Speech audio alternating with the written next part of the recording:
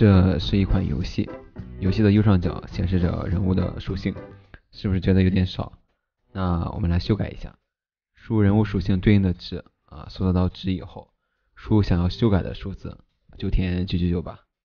我们这里就完成了对游戏的修改。可能会有小伙伴说啊，可是属性并没有发生变化呀。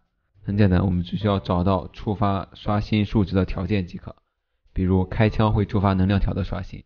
我们来开一枪。这里能量条就变到了之前修改的数值，血量和护甲也是相同的原理啊，我就不再演示了。是不是突然觉得我操，原来修改游戏这么简单？对，就是这么简单。而且我们平时玩的游戏，比如说吃鸡、飞车、王者的辅助，就是用 GG 来制作的。当然我不会做这方面的教程，毕竟腾讯也是警告过我的。啊，兄弟们记得把这个公屏打在保护上。好，废话少说。这就请出我们的主角啊，呸，主角，安卓最强游戏修改器啊，没有之一，Game Guardian，简称 GG。这期视频主要简单介绍一下 GG 的强大之处，GG 如何使用，想要学习的小伙伴可以看我之前做的 GG 使用教程，还讲的蛮细的。OK，我们既然打开了元气骑士啊，就从元气骑士下手，教大家简单来修改一下。首先我们需要打开 GG 啊，GG 分为两个。一个是硬件加速，一个是软件加速，其实差的不多啊。手机性能一般，就使用 S W 就可以了。然后进入游戏，在机器中选择元气骑士的进程。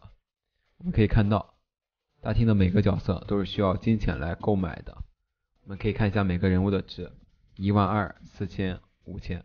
我们点击机器中的搜索按钮，输入对应的值，使用分割符分割开，然后类型选择 D word，也就是整数的意思。之后点击搜索，就找到了对应的值。点击修改按钮，直接将它们修改成负数，就相当于我们买东西，还有他们给我们钱。然后我们来购买一下人物，啊，这里就修改成功了啊！而且这个值是真的发生了变化，并不是自卫。我们可以退出机器，重进一下游戏，然后再购买一下之前没有修改的人物，顺便再升级一下等级啊！啊，偷偷告诉你，其实还可以存档的。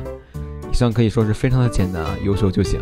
啊，当然这里还要说一下，机器的运行是需要 root 权限的啊。不过手机没有 root 也是没有关系的，放在免 root 环境里面就可以了。比如说 VMOS 啊等一些免 root 框架，需要把机器和被修改的软件都放入框架中。想详细了解的话，还是建议看一下我之前做的机器使用教程。以上就是给大家介绍的安卓神级软件 Game Guardian，后续会持续更新更加离谱的神级软件。喜欢的话可以三连加关注，收藏越多更新越快。我是小雨，我们下期再见，拜拜。